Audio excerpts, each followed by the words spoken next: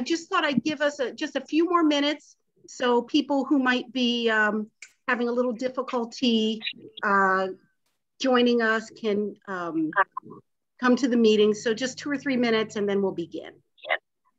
Okay.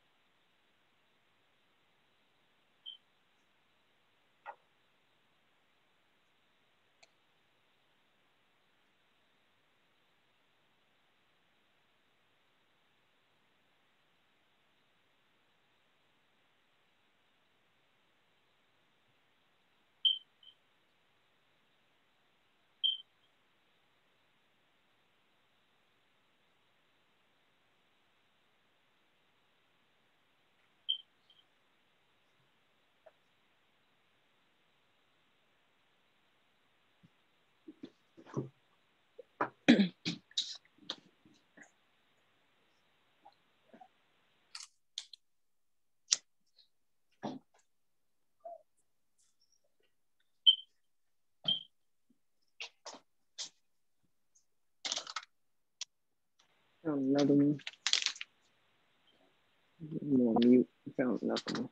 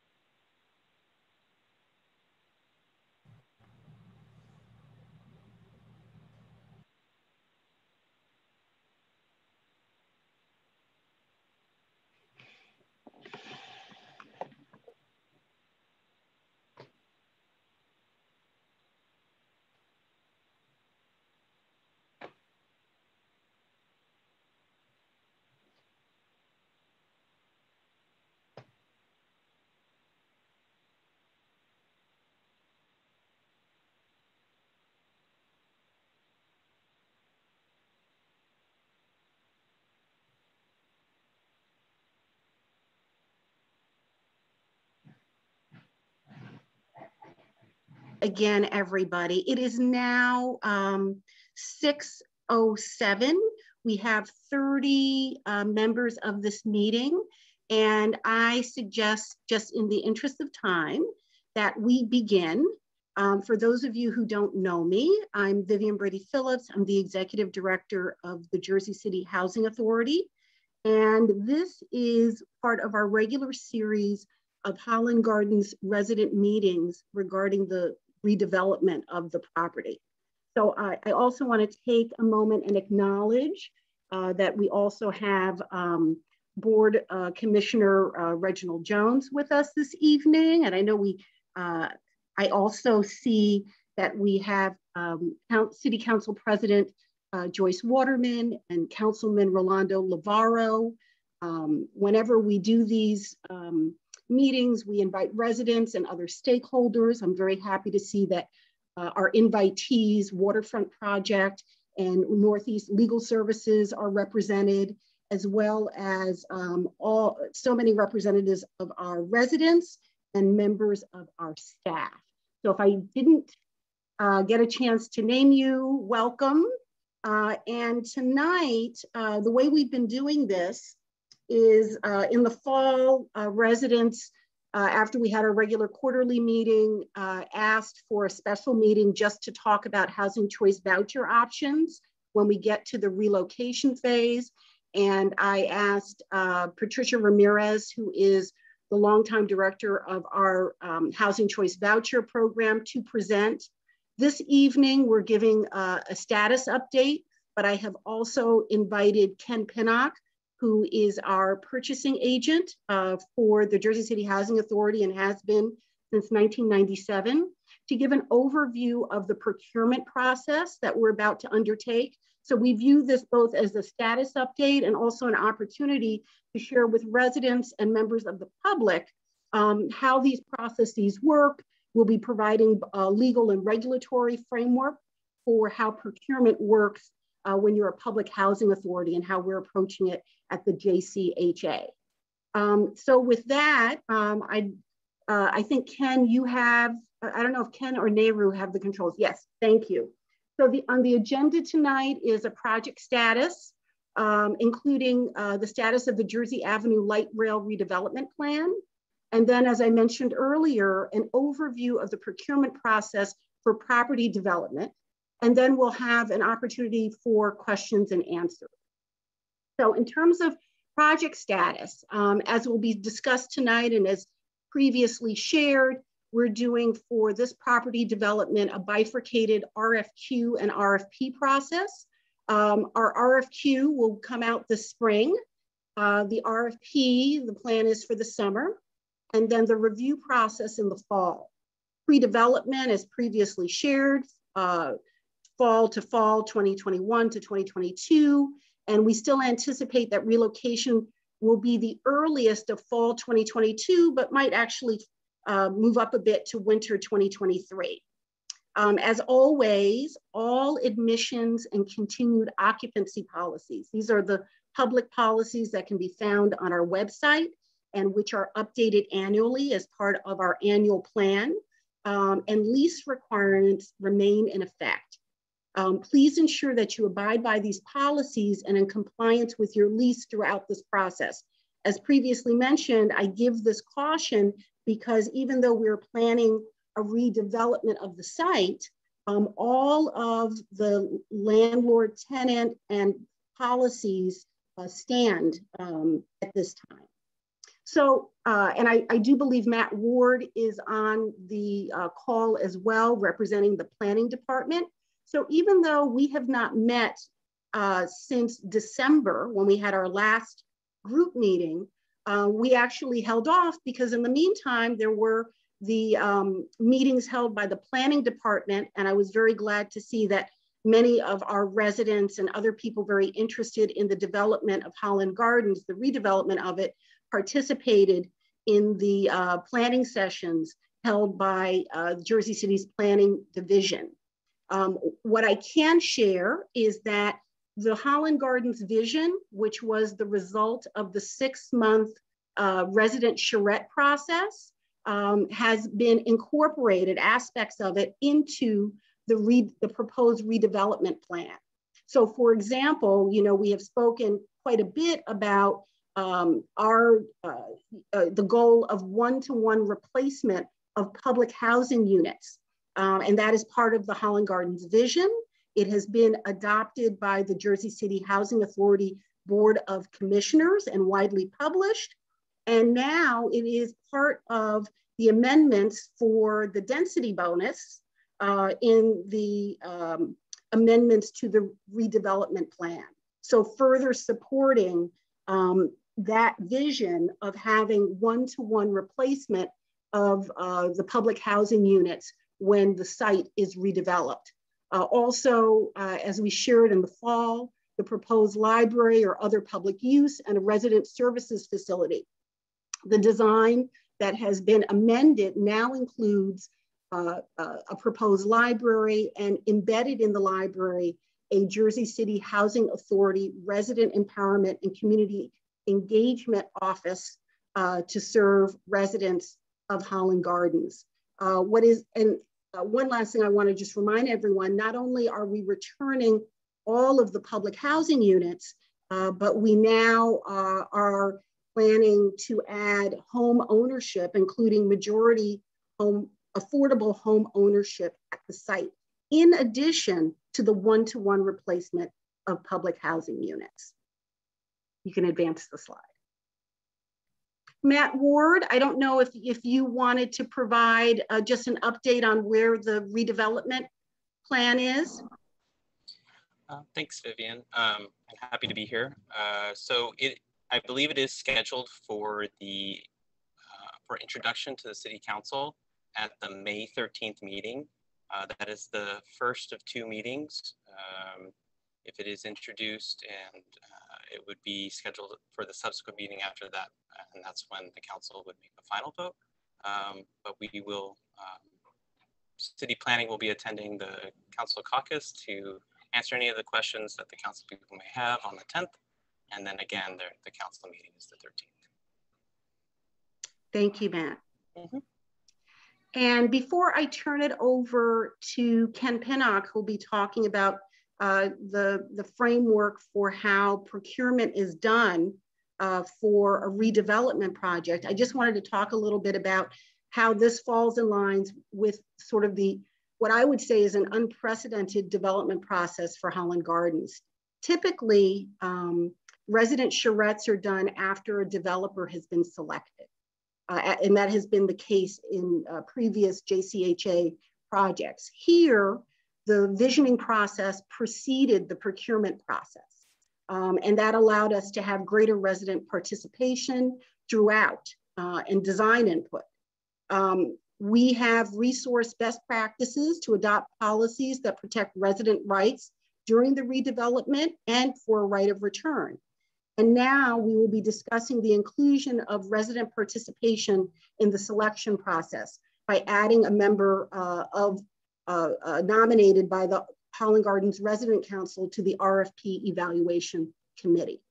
So with that as an opening, um, I am now going to turn uh, this presentation over uh, to uh, Ken Pinnock, who is the purchasing agent for the Jersey City Housing Authority.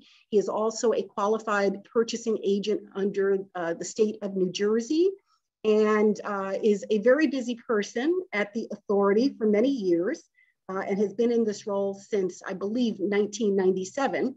So I'd like to, uh, with pleasure, introduce Ken Pinnock.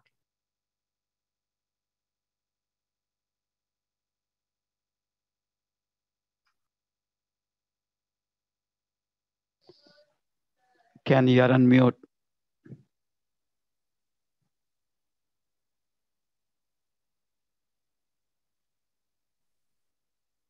You're still on mute.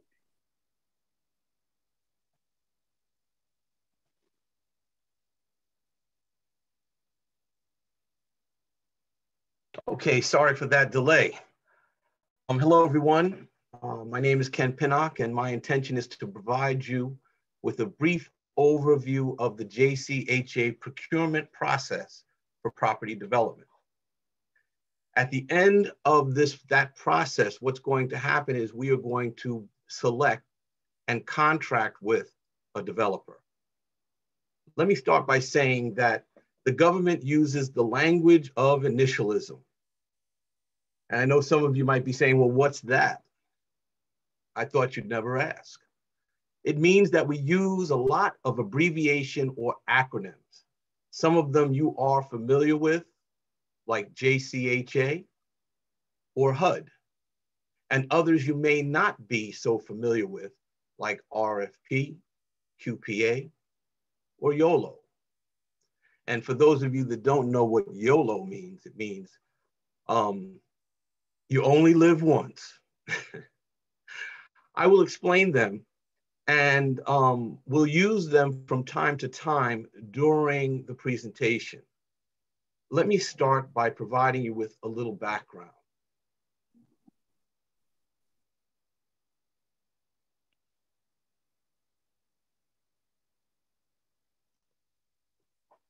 Hmm. Okay. The JCHA was founded in 1938 we're Jersey City's largest affordable housing provider, responsible for the administration, repair, and maintenance, modernization, and redevelopment of 2,500 public housing units. And we administer approximately 4,600 housing choice vouchers. My department, the Department of Contracts and uh, Procurement and Contract Administration, My team manages approximately 2,000 purchase orders and 150 contracts annually. We're always seeking the best possible prices for goods and services in compliance with federal, state, local laws and regulations.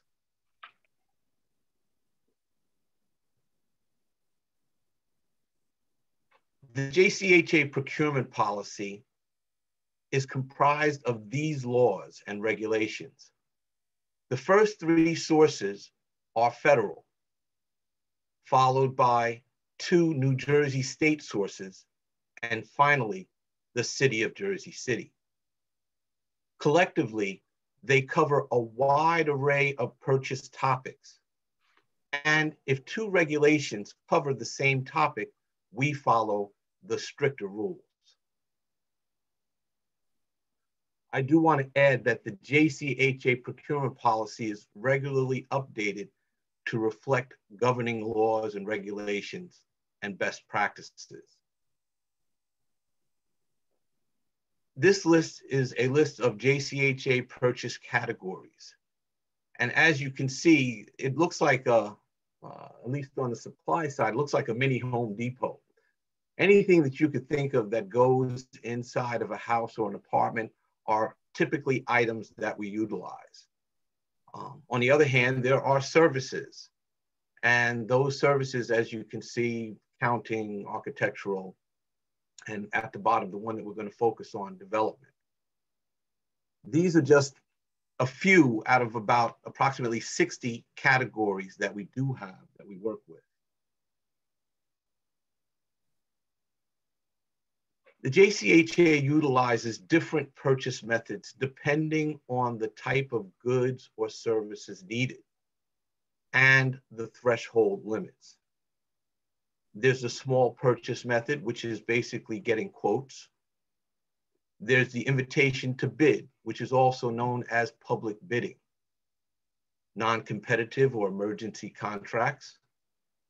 Request for qualifications, which is an RFQ, and the request for proposal process, the RFP method. And the RFP method, it requires a scope of services that's result oriented.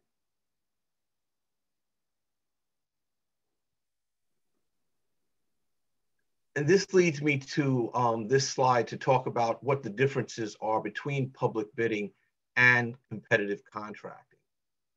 Now, I know you, you, I've said competitive contracting, which is the same as the request for proposal process. This is the term that the state uses, competitive contracting. Public bids are contracts that are awarded to the lowest bidder or based on lowest price to the company that is the most responsive and responsible. When I say responsive, that means that they have filled out their documents, the required documents properly. And responsible means that they have the qualifications and experience in order to complete or provide this, the material, complete the, the service or provide the materials. And this is used typically when you can very easily describe with standard specifications what it is that you're looking for if you remember anything from that list, um, for instance, appliances, we can describe a refrigerator, um, cabinets. Uh, on the service side, it could be roof repair or um, a plumber. Those things are easily described and can be awarded to the vendor with the lowest price. On the other hand, competitive contracting or RFPs, contracts are awarded to the responsive proposal that receives the highest score from an evaluation team. Now it talks about the greatest value, and it is, that's how they obtain the score, um, which generally translates into the company with the greatest value. Now, typically the scope of work is the most difficult thing to develop for an RFP because it needs to clearly describe what the vendor requirements are, the desired outcomes, and the evaluation criteria, which is how the winner is selected. So this, this solicitation method is more appropriate when we're purchasing specialized goods and services where the characteristics are not easily described. Some of the common uses of the RFP are listed here, architectural, engineering, legal. And if you look at the bottom, it goes back to developer and development partner. This leads us to the procurement process for mixed finance development. Ultimately, if you took away the mixed finance, it would just be procurement process for development. But the mixed finance refers to the use of public, private, and nonprofit funds to develop and operate a housing development. This process permits us to utilize both the RFQ and the RFP competitive proposal process. As I said before, the RFQ stands for Request for Qualifications. It, and in that process, we're looking to determine eligibility for the RFP process. Some of the factors that we use to determine eligibility are experience and financial capacity.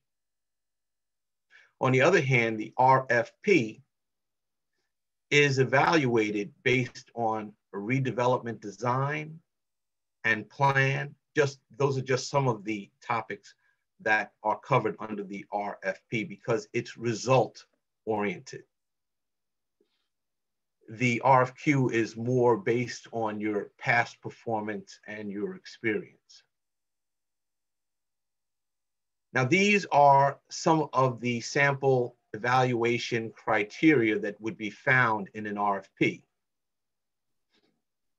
The proposal should demonstrate the understanding of the RFP requirements. The proposal should provide experience, qualifications, and, and capacity of the team. The team, is the team complete and is there a precise staffing plan? Does the proposal provide for minority and women-owned business participation and companies with equal opportunity affirmative action requirements? Does the team have experience with developing Section 3 plans? These, some of these things, especially the Section 3 plan, is unique to housing authorities because it's a HUD requirement. And to the greatest extent possible, what happens is we should be hiring residents, local Jersey City folks, uh, provide training and, and uh, contracting opportunity for businesses. This leads us to the RFP Evaluation Committee. RFPs are evaluated by a committee which makes a recommendation to the JCHA board. The evaluation committee composition is tailored to the type of service the JCHA is procuring. Uh, for example, we recently were um, had an RFP for a HRIS and payroll service solution. And that's basically software for our HR to help manage the benefits and a payroll software. The committee members for that particular project were the HR director, our CFO, which is our chief financial officer, and the IT director. So because it was software based, it involved payroll, which is a finance department function, and HR, the people with the expertise were involved in the selection process per the HUD handbook, the evaluation committee may also include a resident when it comes to development procurement, provided that, of course, that they're adequately trained in the procurement process. The committee is comprised of experts and the resident has an expertise based on their experience as a public housing resident. The evaluation committee members must also attend all evaluation meetings and oral presentations. Um, this is all essential in order for us to complete the evaluation process. The evaluation committee member is required to sign a certification of non-disclosure. That's about confidentiality. Just like uh, if you were a juror in a court case, the information that you have is privileged and should just be yours and the committee, and that's it. Shouldn't be given out. And then there's also a statement of no conflict.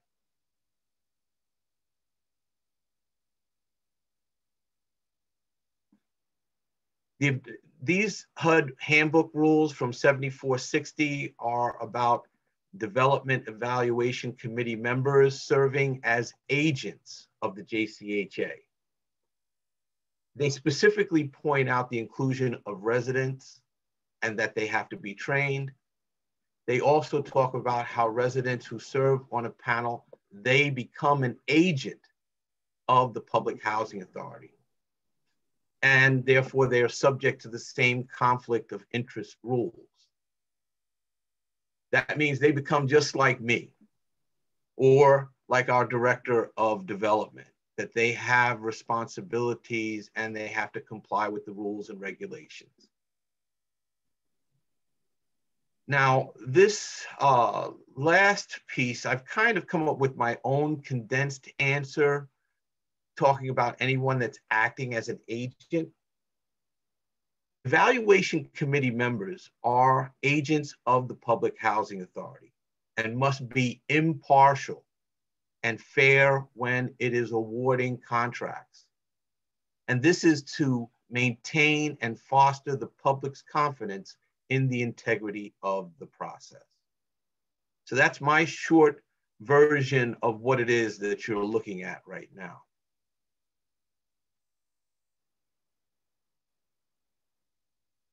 I thought that this one was a little bit wordy also. The government, we are full of language, um, but it also touched on subjects that weren't necessary when it comes to the uh, process of selecting a developer, the procurement process for the selecting a developer.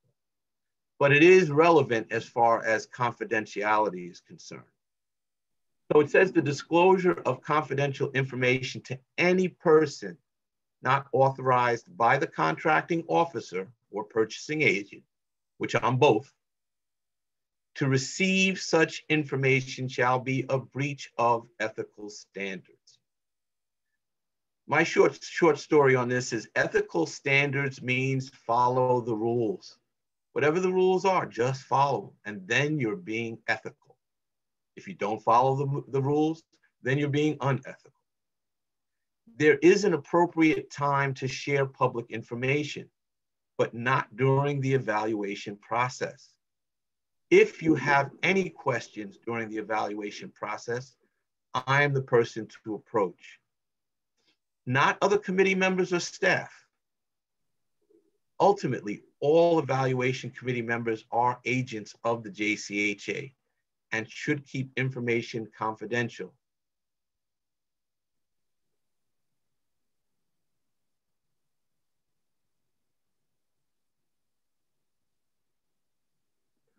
Holland Gardens Evaluation Committee resident participation. JCHA management in consultation, I'm sorry, in consultation with HUD will recommend the inclusion of a resident on the evaluation committee. The resident will be in good standing and will be selected from candidates nominated by the resident council of Holland Garden. The JCHA will review the qualifications of the resident candidate. And the JCHA will train the selected resident in the procurement process and provide any other training or guidance recommended by HUD. And that ends my presentation for this evening. And this, I'm gonna open the floor for any questions or comments. Thank you.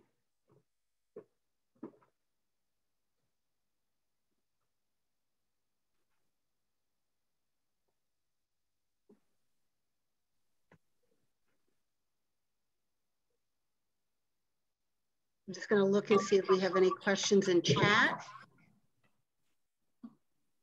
I have a question. Sure, sure.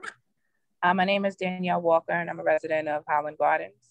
And what I wanted to ask was, um, will the developer be chosen based on previous projects with the JCHA? Is that a past practice or is it based on um, whomever decides to uh, request to redevelop the property? Can I answer that question? Sure. Okay. No, it is not a requirement for you to do business with the Jersey City Housing Authority in order for you to be selected. It is an open process. And basically, if you qualify, no matter where you come from in the country, you will be able to submit a proposal. And uh, whoever the highest rated proposal is, is the company that will be selected. So no, that's not a requirement.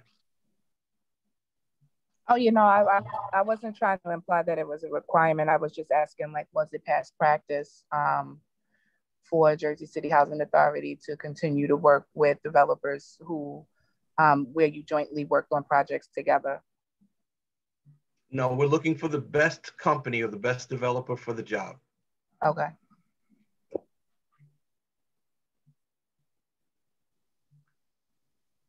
Ms. Council, I see your hand up. Oh, I tried to do it right. Hi. Um, with this, the process of um, the one resident, uh, which you having a team of um, uh, a team that goes with this development. Why only one resident? Ken. Well, the kit, the committee, according to HUD, the majority needs to be comp comprised of JCHA staff. Um, it's it's similar to our board. Um, there has to be an odd number of people on the committee, and uh, typically that number is three, five, or seven, depending on the complexity of the project. Understood. But my my question again is, uh, why only why only one resident? Because uh, everyone has their own. You, you, know, you guys are staff. You have no. You, you know, you're back. You're behind the desk pushing pens, but you're not walking the beat. And know the actual the actual areas. And sometimes, and I'm just saying, for me, for for myself, I work construction, so I could I could put a little bit in and a little bit, you know, let you know certain things that may be required or you know just thought about because sometimes you're just on a basic oh one track you know. We have to put our heads together and make this a better project and just not the one that's just here. We have to make different um aspects you know. We we could change it around a little bit. Well i'll, well, I'll answer I, i'll i'll respond to that. I think that whatever uh you know all i have said to the resident council is that the criteria is that it's someone in good standing and someone that they think can represent the entire community well. I think it's a good conversation to have with the resident council uh, and to figure out uh, what the criteria, you know, what their perspective is on the criteria for um, the resident who's selected, right?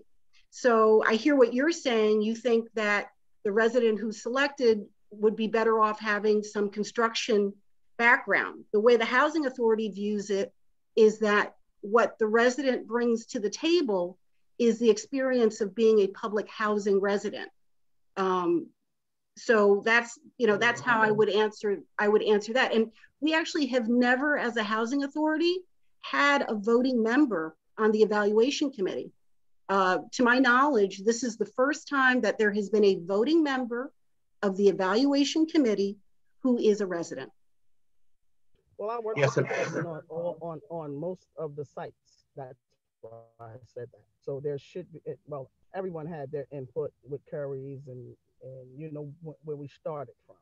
So everyone had their input on how things were going to go. And it could have, you know, came from the residents as a whole and then, you know, trickled down to you guys. I mean, you know, like like you said, to your knowledge, but we have we've we've been on this. The residents are the stakeholders. We we you know we make decisions as well as you do. That's that was my that's that's my take on it. Okay. Well, Vivian, I just wanted to add that we also, um, you know, uh, there are possibility of sitting in on some of the oral presentations um, in an advisory capacity, um, or maybe other methods in order for you to share your comments or opinions. So there may be other methods Thanks, during the process.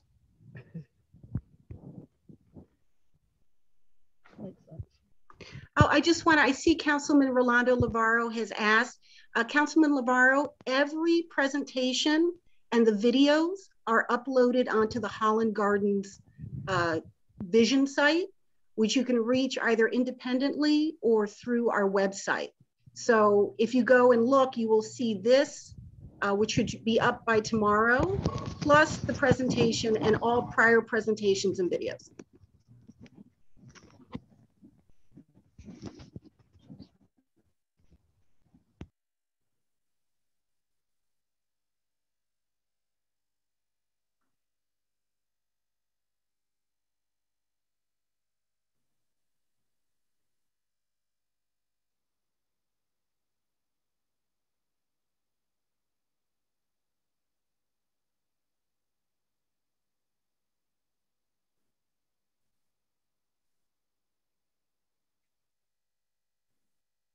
Are there any other questions? Oh, and I know, oh, thank you. I see the, the link to the Holland Garden site is there.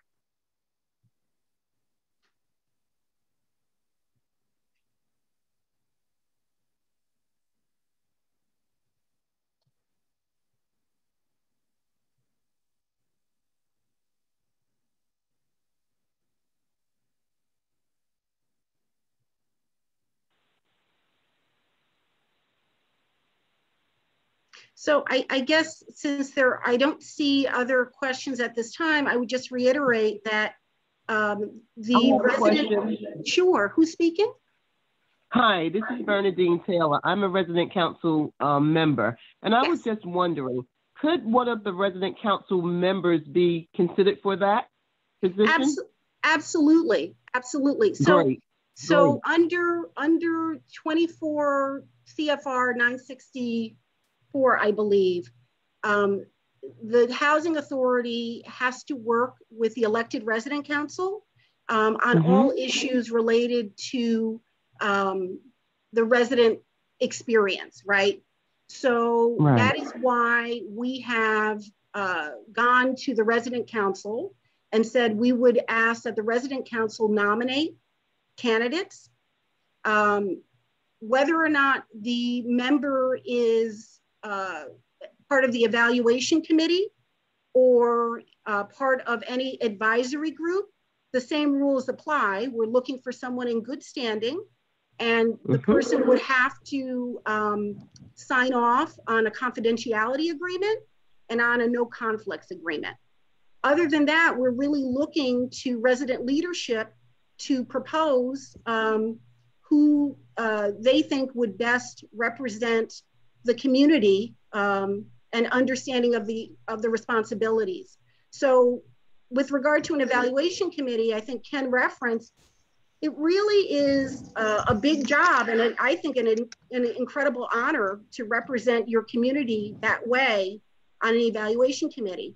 Um, the member would have to attend uh, the training, which is required by HUD, and any Mhm. other training or guidance that HUD requires us to use. Um, they would also have to attend all of the meetings and meet the general guidelines uh, for participation. Okay, great, excellent, thank you. You're very welcome.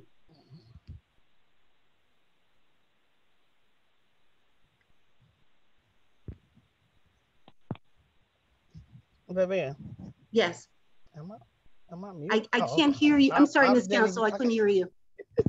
I'm sorry. I could, I, I didn't know if you can hear me. That's what, hey. Oh, I heard you, I um, heard my name. So you, you are aware. I was saying, hey, hey, hey, and then I said Vivian. Okay, okay. Listen, um, you uh we have two um we have a resident association, which you know, and then we have a resident board. We have two um representations of Holland Gardens because of this. So I just wanted you to know that we do have two separate. We I, have two. I am very aware of that. And Yeah, I would suggest that Mhm. whatever groups of residents want to work on this come together. project, that they work with the board Together. because the housing authority has to officially recognize the board and whoever, which means the resident council, and whoever um, Mhm. they work with, they tell us who they're working with. Gotcha. Okay, Okay, so I, I'm, I just wanted it to be fair. to- sure. No, I'm, I'm aware. Okay.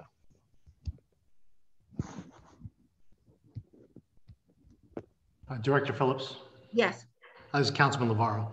Um, So apologies, I kind of was jumping in and out of the meeting and uh, simultaneous Zooms going on here, but, um, and and this is my first time um, joining you in one of your quarterly meetings here and the presentation, so thank you um, for, th- for the information and thank you, Mr. Pinnock, for the presentation. Um, I just had a question, uh, and, and and you probably covered it long ago, and uh, apologize, but I'm not aware, but uh, um, As you look to go out to RFP and to, uh, for bid for this, um, in terms of um, the property for Holland Gardens, is it being leased out or is it being, um, or are you looking to, to sell the property? No, we do not sell the property. It would be a long-term lease. Be a long-term lease? And do you have a ter- idea of how long that long-term lease is? It's, uh, Um, at this time, I, I am, uh, I could give you a range, yeah, but that will be in all of the procurement information. okay. What, what would the range be? Um, Steve, do you want to answer that? I'll put council on for you, Councilman. Sure. Good evening, everyone. Uh, Steve Sia, Director of Development. Um, So, um, Councilman, uh, Councilperson, usually it's anywhere from 55 years to 85 years. However, because we have a large market rate um, component as well, um, any financier is going to want to see a 99-year ground lease. So that, that would be the expectation. Yep. Thank you. You're welcome.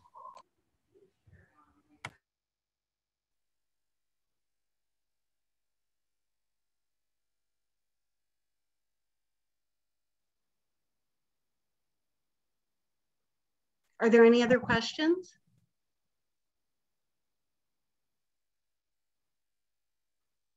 Hi, Vivian.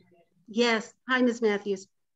How soon do you need the um the nominee for the evaluation committee? Um, you know, we can talk about it, but our hope would be that there would be nominations in, you know, uh, before the end of June. But, you know, you and I have, you know, I haven't had a chance to sit down with the resident council to see what you think is feasible. Uh, but our hope would be by the start of the summer. Okay, so we'll meet by the end of the month, maybe. Yeah, and we can talk Okay. about how you want to proceed. Okay, thank you. You're very welcome.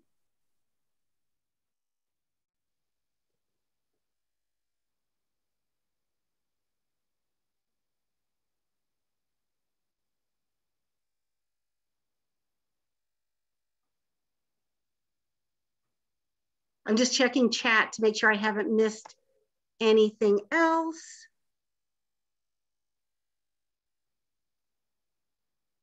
I, I don't think so. Any other questions? One more thing, Vivian, I'm Sure. sorry. Absolutely. Can you remind the tenants of the um relocation time again? I know it was from fall 2022 to winter 2023. Yes. So, you know, the way we have always done this is tell people at the earliest, right? It's always possible that it could be later, but at the earliest fall of 2022. Okay, okay. Thank you. Um, Ms. Albert, we haven't put together the evaluation committee yet at this time. Um, we'll know later on. She wanted to know how many people will be on the RFP committee.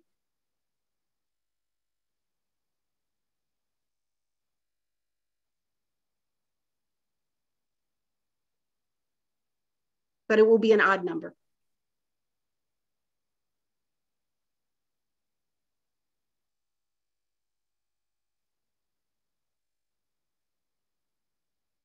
Part of this is also since we have to do training, we want to make sure that, that, that we have enough time to do uh, the training in advance and get all the uh, approvals and direction.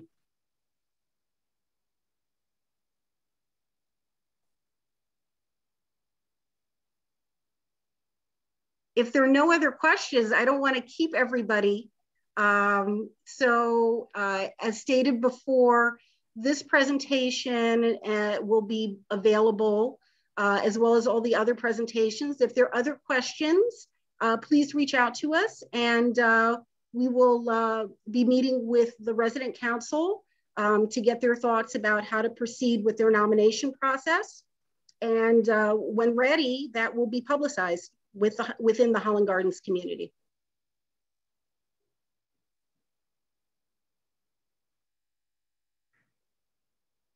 Thank you. You're very Thank welcome. You. Thank you. Thank you, Council President. I think that was you. Yeah. Thank you. Have a great night. Good night. Take care. Vivian, Yes. I have uh something going on down here that I need uh you to address. Reginald Jones, you on to. Um, Right. We- But we shouldn't do, if it's a personal thing, we shouldn't do it on this public meeting.